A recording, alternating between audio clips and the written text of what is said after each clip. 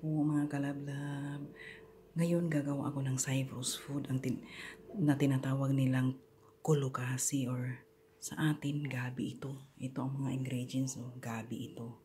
Gabi tapos yung baboy na karni, hiniwa-hiwa na.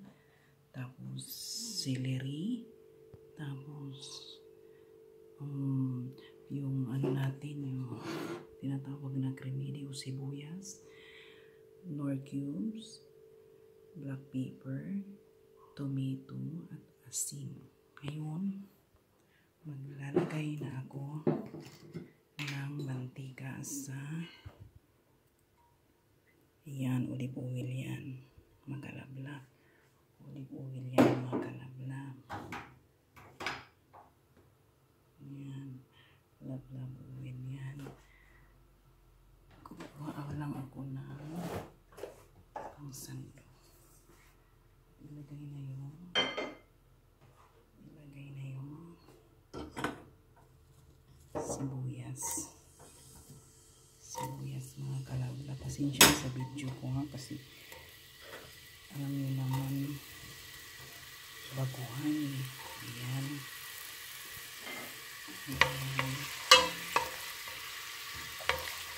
Ayan, painitin lang konti. Okay. Sige na to. Galing. Galing bago mga kalabla.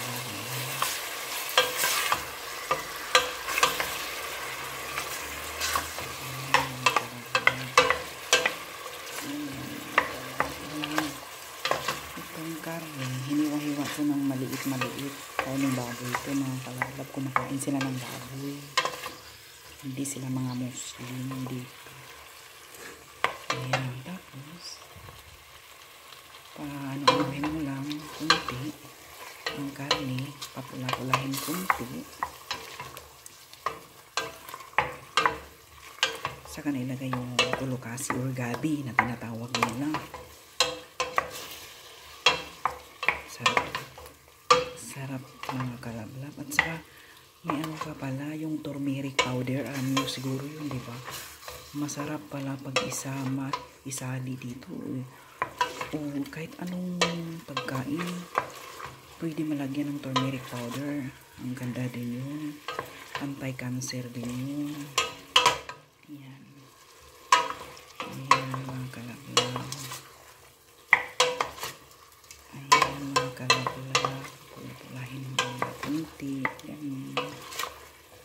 Ayan. Tapos ilagay na to. Kulkasi. Ayan. Kulkasi or gabi sa atin. Gabi ito. Ayan. Tapos ilagay din tong celery. Yung celery. Sarap tong celery mga kalapit. Maraming vitamin vitamin na itong makukuha natin. Yung celery. Mga kalabla, pasensya na ha. Nagluluto ako ng ganitong pagkain na kasi gustong gusto nila ito. Kulukasi or gabi. Gabi sa atin. Ayan, mga kalabla. At pulapulahin muna natin kunti. Ayan. Pasensya na mga kalabla na kasi ako lang nagbibideo. Tapos, ayan, mga kalabla. Wala ng paper. Ayan, paper. Ayan, paper. Black paper.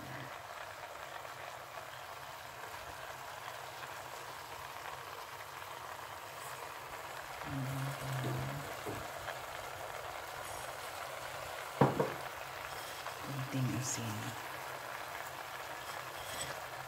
Asin.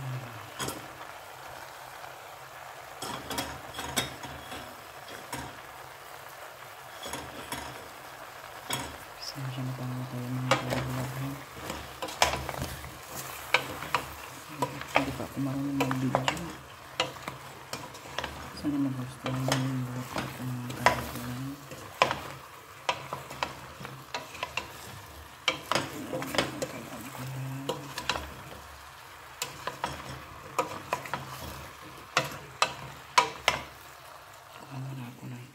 Kasi ilagay na tong juice at saka lemon pa pala, lemon juice. Lagyan mamaya ng lemon juice. Lemon juice ito.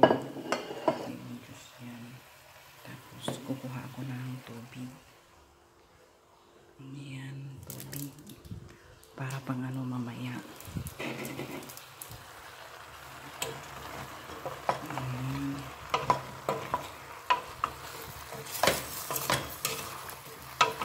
Gusto gusto nila talaga ito mga kalablang. Yung pagkain na to. Yung kulokasi or gabi sa atin. Kulokasi ang tawag nito.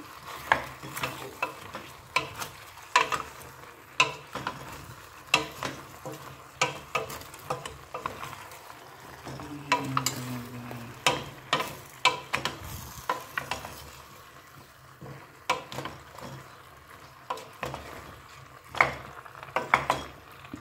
Pula-pulahin muna natin konti.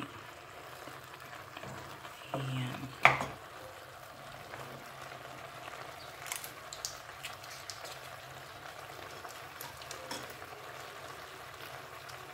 Ako lang kasi ang nagbibideo mga kabel. Sana magustuhan niyo ito.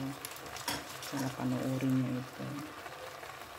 At sana i-subscribe niyo na rin. Salamat mga kalagyan. Salamat.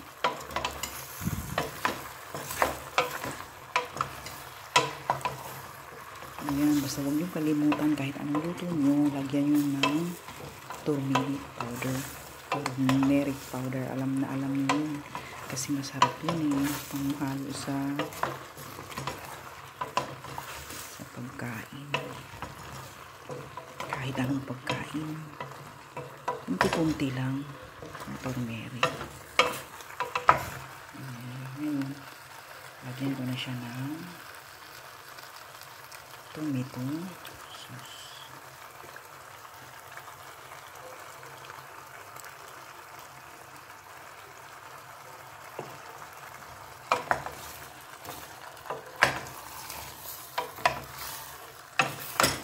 Ayan, mga kawalan.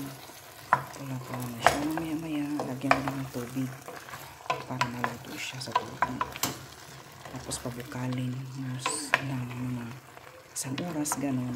Tansyahin nyo lang kung luto na yung gabi at saka yung yung yung tinatawag nito yung karne saka pa ng ano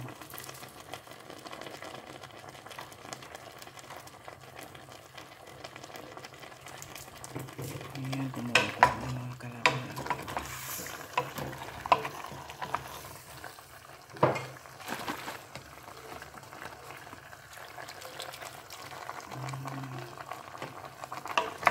Pero karamihan lang mga kalaban.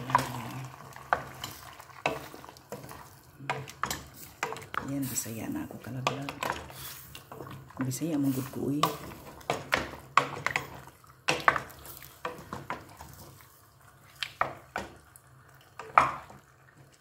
Ayan, kalaglag.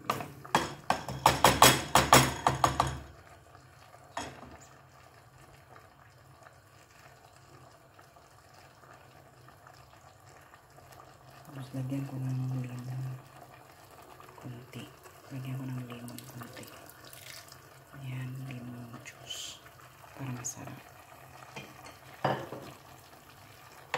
Ng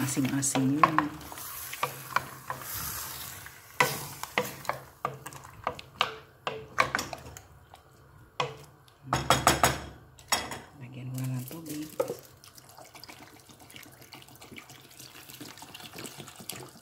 Medyo damihan nyo lang ng tubig para maluto mamaya. Ayan. Kasi hihigupin to mamaya eh. Hihigupin to.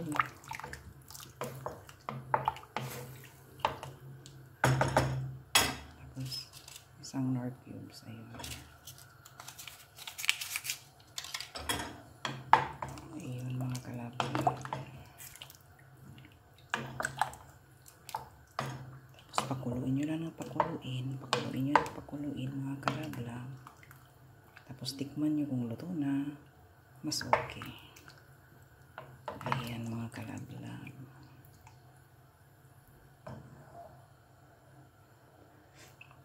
Ayan siya. Ayan mga kalablam. Pakuluin nyo ng pakuluin. Mga 1 hour. Mga 1 hour siya. Pakuluin nyo ng pakuluin. Siguro over 1 one, one and a half hour maluluto na siya. Sana nagustuhan nyo ang video ko mga kalabla. Panoorin nyo sana. God bless you all. Subscribes na rin at likes po. Thank you. God bless you all. Maraming maraming salamat sa pagpanonood ng video ko. Salamat mga kalablang.